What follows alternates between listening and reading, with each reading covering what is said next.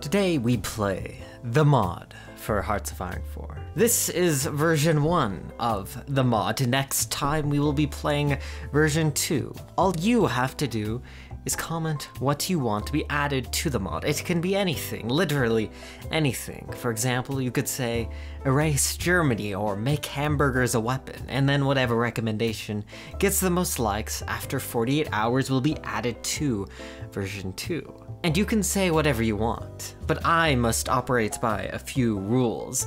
I'm not going to change the map for every episode, so if you ask for a new continent, I'm sorry to disappoint you, but I might do something a little sneaky to get around making a new map. Second, no change I make will erase a past change. Third, no funny demonetization business. If you guys want something edgy beyond what I'm comfortable with, I'll probably comply, but I won't be smacking myself with a community guideline strike anytime soon. And fourth, if the comment that gets the most likes turns out to be a long, long list of a ton of unrelated things, I will only do the first thing. Maybe, maybe I'll do all of them, I don't know, but definitely the first one. And so that is how the mod works you know. And an obvious question from your perspective now is if our comments decide what gets into the mod, what is in version 1? Well, I took the liberty, you know, to go into the United Kingdom and fix maybe their worst path. The global defense path for Britain. If you do steady as she goes, which is the democratic path, you can choose between the global defense path or the home defense path, either the historical path or the no more appeasement path. Which uh, you would think the no more appeasement path would be better, and it's better, but not not really by that much, honestly. So I decided to make it better, quite a bit better. So we will play that today as we start our journey in the mod, and who knows, maybe we'll come back to this path a few more versions down the line and see how chaotic it has become. But now with that said, let us begin.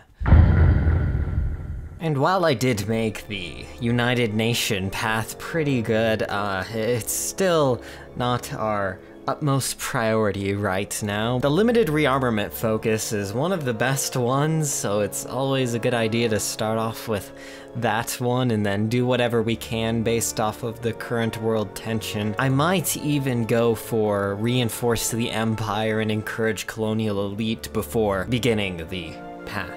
I won't quite go and form the Imperial Federation or anything, but I'll at least get that nice research bonus. Regardless, in the vanilla steady as she goes global defense path, we can do the maintaining imperial integrity focus and make all of our subjects lose autonomy. So we've given refuge to both German and Italian scientists, and we've encouraged colonial elite, so our research will be amazing from now on, and we can, of course, now focus on our political path. I already have my divisions in the Middle East to secure the oil imports when it comes to that. These guys won't be our main concern. We'll have much more exciting targets to deal with in this new path. And now we actually have to wait for, you know, Neville Chamberlain to be the leader before we can continue with the path, so we'll do other stuff like the shadow scheme. Now the second Neville Chamberlain becomes Prime Minister, we are going to do a vote of no confidence to get rid of him and replace him with uh, Winston Churchill, of course.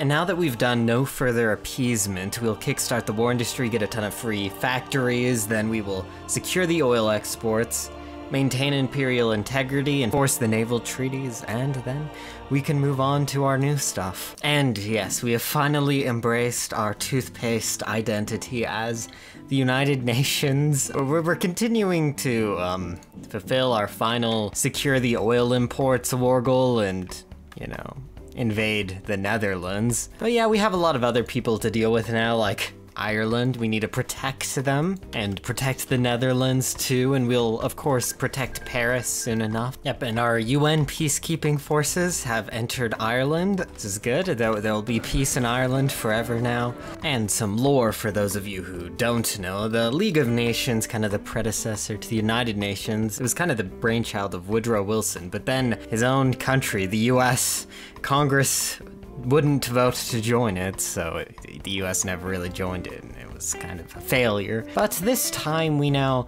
will just bypass Congress and force them to join our um, our United Nation. It'll be great. The US hasn't gotten very powerful yet, so now is the perfect time to invite them into the UN. We also, as the good guys, offered to protect Danzig for Poland, so yeah, we will now protect them. We have now founded the glorious UN Recruitment Center. It's a new city that we built up from the ground. It has a lot of people there just waiting to be recruited, and we're definitely not occupying India at all. We've just established the UN Happy Zone, a zone overseen by the United Nations directly. It's a good place. There, they're just very happy there. We're also going to invade the US now, because that's a good idea.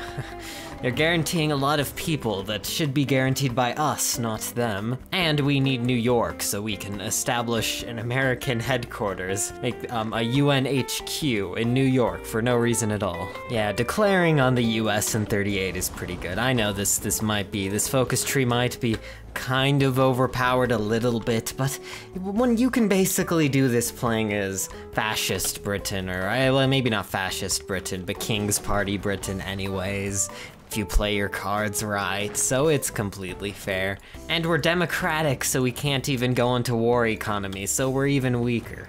Well, I guess King's Party is neutrality, so they'll still have that problem, but yeah, well, who cares? You know, I kind of want to go fascist UN just for the, just for the memes, but I think we still have that one, steady as she goes focus or something. Well, I guess not. Maybe we could just recruit some sort of advisor, or I guess we can't actually. Meh, unfortunate. I guess this is my mod, I could just add it in there if someone wants me to, I guess. I feel like there are much more interesting things to add to the mod than just a ton of new stuff for this one UN path, but I don't know, it's whatever gets the most likes, you know. I'm not gonna secretly pull the strings or anything. I've also seized Seattle, we'll send one guy to go seize Portland and Sacramento and San Francisco and all these other cities that are gonna eventually be the capital of the US. Well, yeah, I guess Los Angeles already is the capital of the US now. Oh, Greece wants some money? Hey, hey, we're the, we're the UN, not, not Germany. Sorry, old chaps. Yeah. And here we are, perfect. The Philippines, a perfect base to launch our invasion of Japan, what, that we inevitably have to do because they have defied our glorious naval treaty. Okay, and we have directly occupied most of the US, but we left them with the British North American territories and we just put FDR right back in power because why not? Now we can finally establish the American headquarters. We'll, we'll do that. Now our new capital is the United Nations headquarters. That's that's good. That's that's what we needed. I guess it's now time to invade Japan. We've now got the worst national spirit ever, keeping the peace. Like, it lets us fight offensive wars without much problems, but our divisions are kind of terrible now, but that's that's okay. We'll soon be able to form the World Bank. We just have to either take out Italy, Germany, Japan, or Russia. Russia would be the most impractical. Japan is probably the easiest one to take out. We might even be able to take them out without having to get dragged into a war with another major, but I think Germany's going to demand the Sudetenland soon, and we did do the no further appeasement focus, so it'd be a little weird of us to appease them now, but I feel like this is a pretty good situation for appeasement if we want to do that. Okay, Czechoslovakia must be defended. There we go. They declare war on them. Italy joins the Axis. Yeah, that's that's fun. France needs to get some divisions on Italy's border, but yeah, we're, we're just getting all of our divisions to the United Nations Netherlands, and then we can invade Germany and everything will be perfect. We'll, we'll just deal with all of the threats at the same time and occupy them with our amazing forces. I guess I should move some divisions to Danzig too. Yeah. And France has disappointed us. They have refused our generous offer of allowing us to directly occupy Paris in northern France. We could get an annex war goal against them, but I think this is a bad time to attack France. so they can get away with this for now.